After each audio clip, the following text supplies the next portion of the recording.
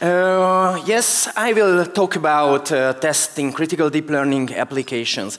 So let's start uh, with a general introduction. I'm sure that all of you are familiar with the classical software stack that is called Software 1.0, that is written in programming languages by using explicit instructions to restrict the behavior of your program. In contrast, Software 2.0 can be written in a much more human-unfriendly language, such as the weights of a neural network. Um, for software 2.0, we have to specify somehow the behavior of the desirable program. This can be given uh, as to satisfy a data set of input-output pairs of examples.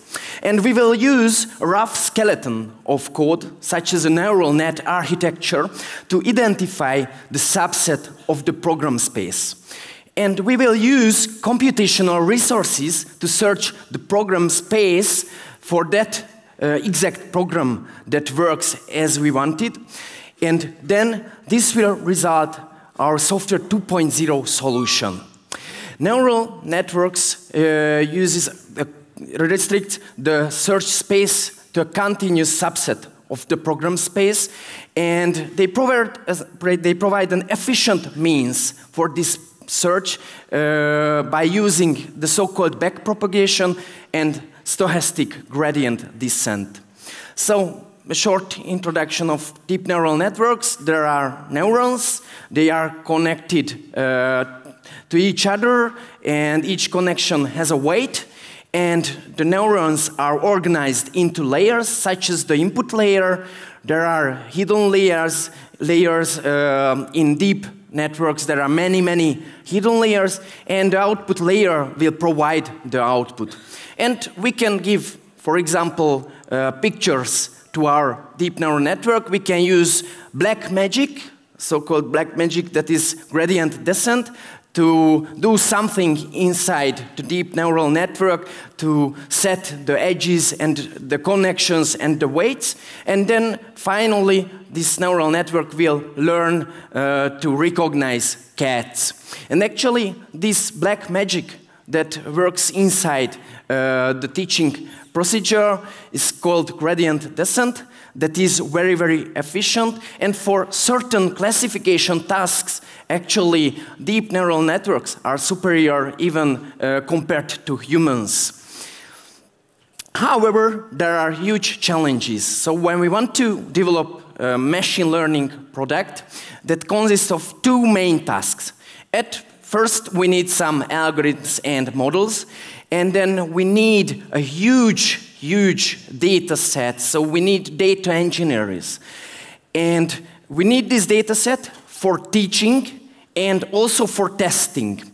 There is also a huge challenge uh, regarding uh, machine learning that is debugging. So we need interpretability and explainability, and we might uh, choose between uh, using a 90% accurate model we understand, or we might choose a 99% accurate model that we do not understand. And uh, there is also problems, uh, other kind of problems such as faults and attacks, so we have to consider fault tolerance and defenses against attacks. And what is the main goal of this talk is safety and a little bit security. So just to emphasize how important problem is this, I just uh, wrote some headlines, uh, the 10 biggest AI failures, such as uh, self-driving car accidents or face ID hacks uh, or the top 10 people killed by autonomous robots, or you might all heard about the Uber accident. But there are also problems in commercial uh, artificial intelligence-based systems, such as the famous Tesla accident that is depicted in this picture and resulted this.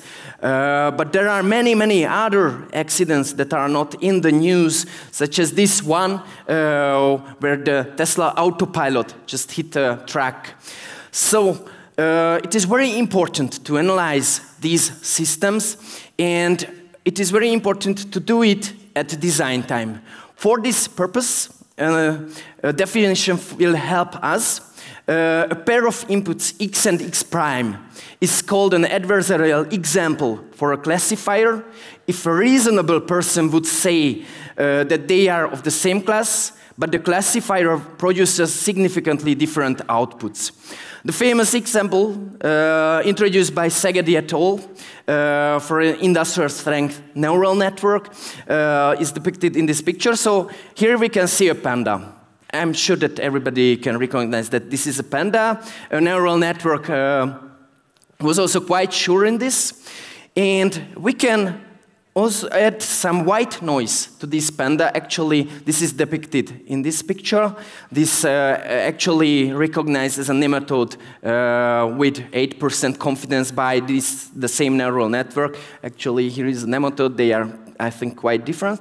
But adding this white noise to this panda picture will make the neural network uh, be quite sure that this is a gibbon. I'm sure that none of you think that agrees with this neural network.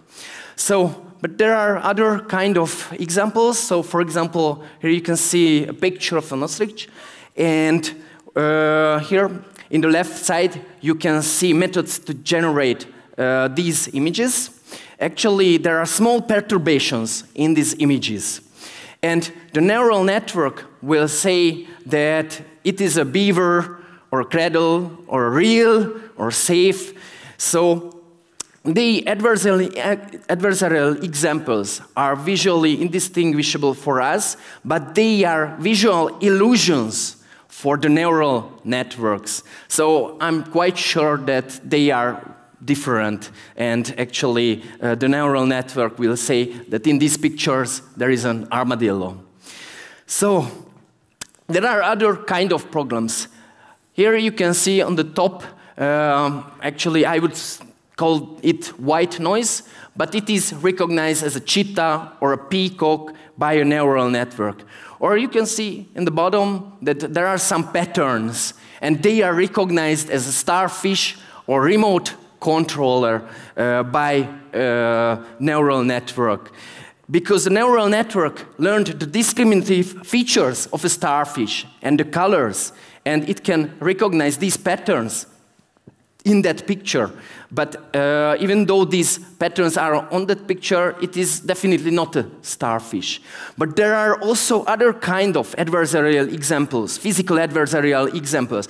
Here you can see a turtle. This is a 3D printed turtle that was just, with just uh, the researchers just, just take some photos of it.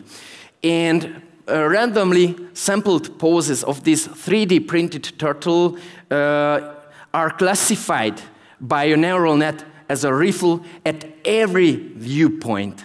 So certainly there are many, many problems with deep neural networks. And here you can see a video.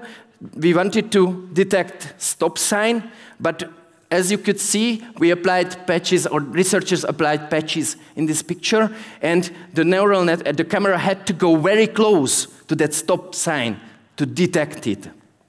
So there are also adversarial examples in the physical world. So it is very important to ensure the correctness of these deep neural network-based solutions, we might use various analysis techniques such, such, as model checking. Model checking works as follows. There is a real-life system. We create a formal model, and we formalize the property. And then by giving these, uh, all these things to a verification engine, it will prove uh, these properties of our system. However, it is a very interesting question that how can we formalize the working of AI? How can we formalize the properties and what kind of algorithms to use for this purpose? And researchers uh, developed a tool for uh, the verification of deep neural network-based controllers. Uh, these controllers are used uh, in such places like uh, in airplanes for accident avoidance. And in this case, the specification is given as a set of points and ex expected output, uh, as shown in this picture.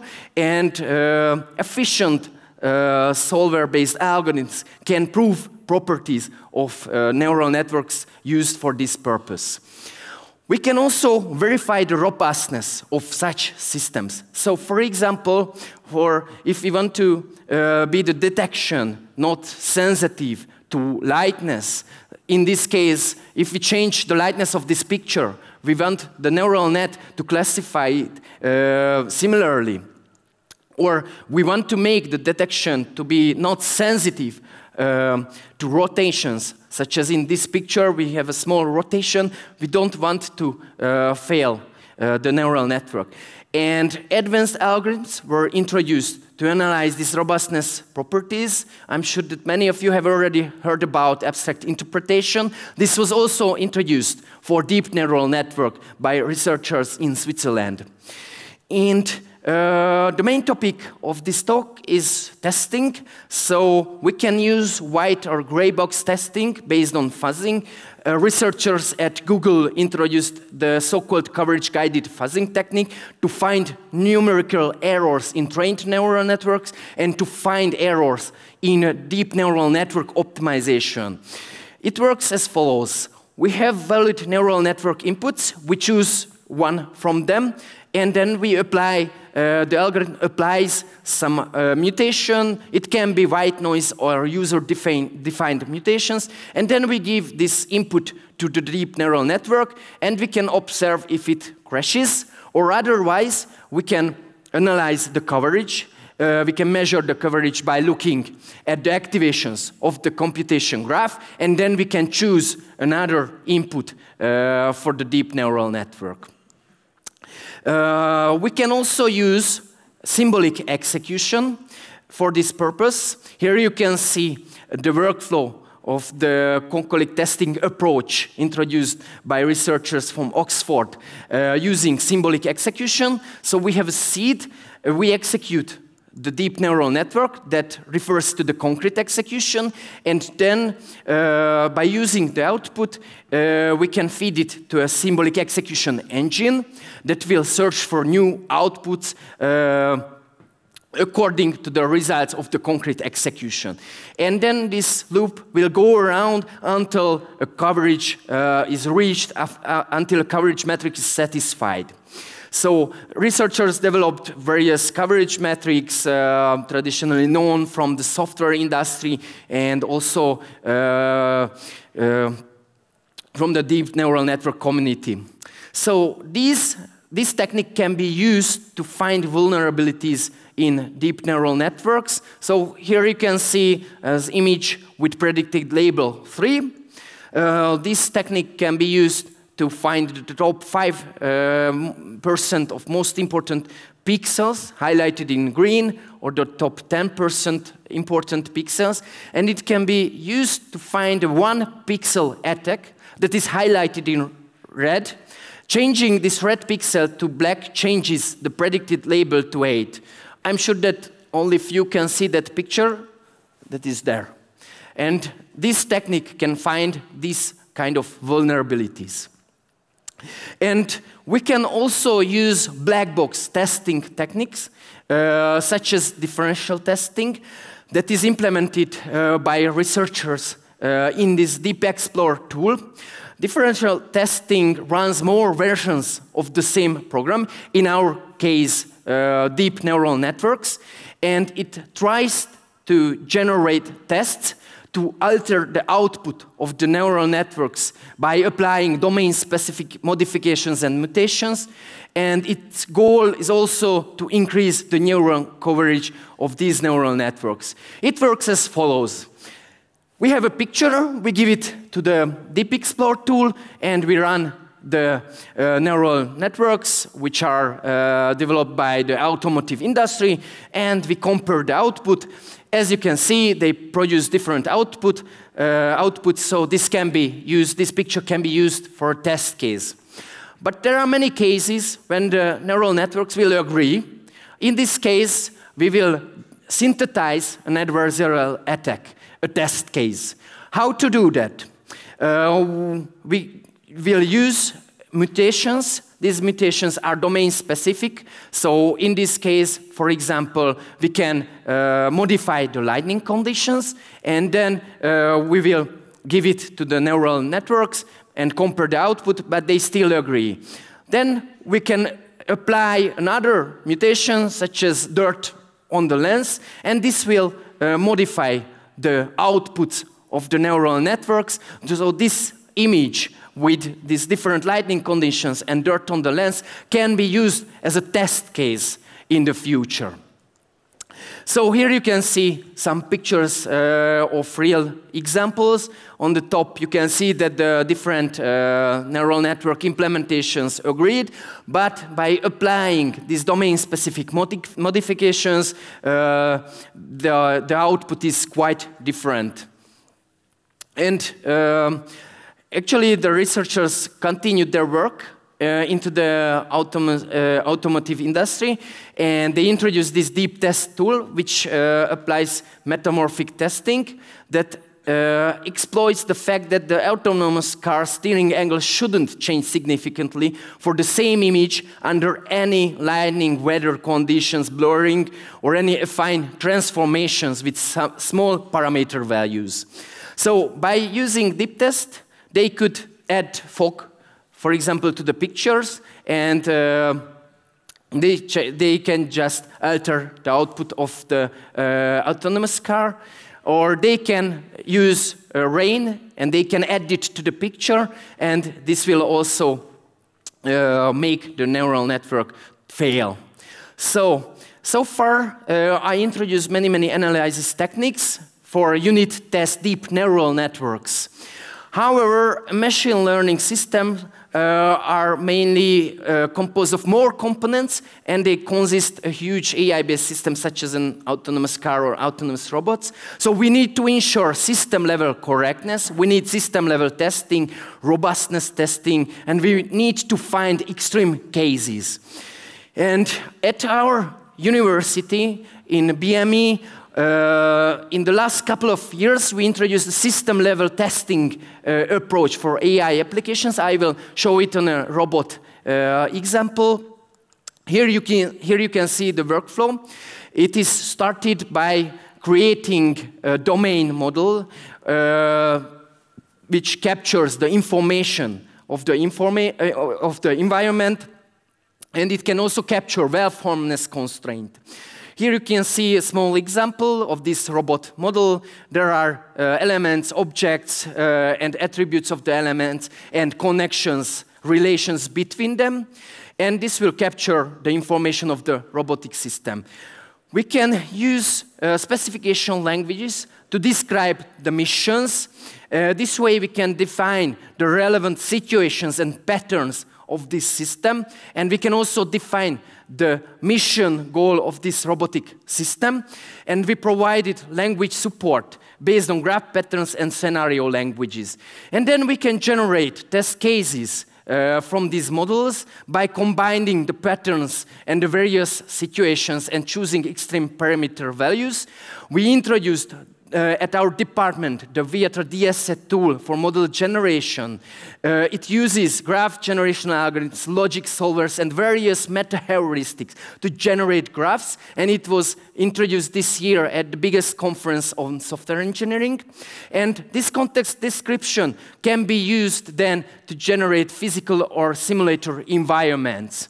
And then this simulated environment can be uh, simulated in, the, in uh, such tools like the Gazebo simulator, and then we can evaluate test cases. For this evaluation purpose, we use the requirements defined in the specification languages. We generate monitors, actually test oracles from it, and then we can analyze the context patterns by using graph pattern matching and by evaluating the parameters of the objects.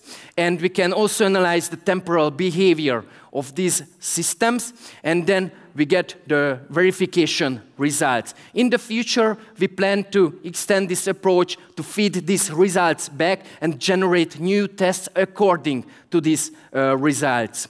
And here you can see a small example, a tram example actually. The tram goes into a, station, it uh, recognizes, it detects a car and a pedestrian, and then it continues it, its way, and it still detects the car, but because um, the pedestrian went behind a traffic sign, we do not uh, recognize it him uh, uh, anymore.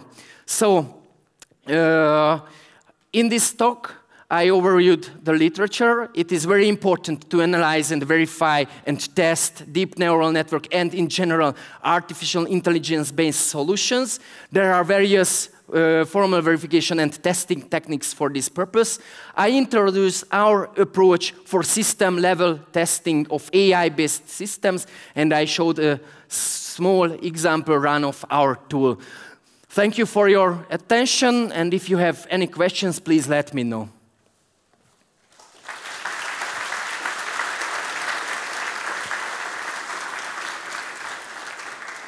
Are there any questions? Because I cannot see any questions in the app. So any questions from the audience? I guess, is there any? A new one? Okay. Can we pull it up?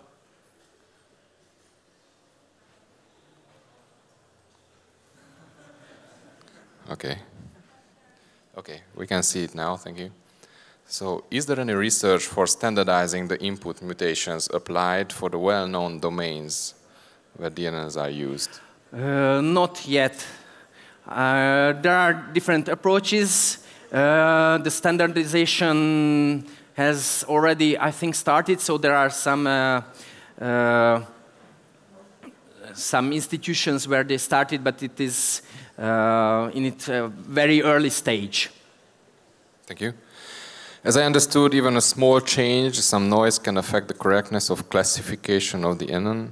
How to handle this? Remove noise or train on noisy images as well?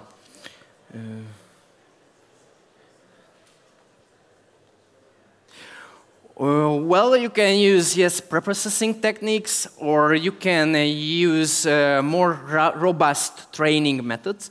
So there are training methods that uh, aim to, uh, to provide robust systems, but even for those systems, you have to use these robust robustness testing approaches because it is not 100% uh, sure. So there are techniques for that. Thank you. How well picture recognition works on black and white pictures? Also, if we just alter some colors in the picture, will the AI recognize the objects just the same? Mm, well, uh, for colored pictures, uh, the situation is, situation is that not.